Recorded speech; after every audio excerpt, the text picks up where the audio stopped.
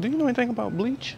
A little bit. What? Cause I'm trying to get a job, but as you see, my skin's a little black, and I'm I'm trying to do like the Michael Jackson thing. yeah, I'm trying to bleach my skin too. Yeah, well, you don't want to put that on your skin. Oh, so Clorox don't brighten up black people? No. What do I? What do you think I need? I don't know.